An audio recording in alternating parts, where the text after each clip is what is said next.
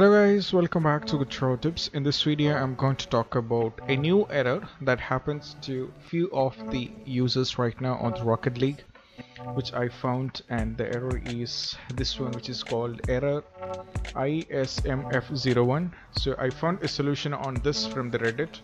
So when you're having this issue on your PC when you're trying to play the game, which is Rocket League on your PC, what you have to do is you don't have to get panicked. All you have to do is just restart your computer. Right when you're having the ISMF01 error just restart your PC and try to play the game once again which most probably in the issue app so this is one of the solution and for the most of the people who tried this it helped them. So you don't have to worry about this. And this is a solution put forward by the official itself so you don't have to worry on that too. And if you find this video helpful don't forget to subscribe and click on the bell icon for more notifications you have any doubts to ask in the comment section where we will get back to you and this is Shahin officially signing off from Tips. keep practice social distance be safe and stay safe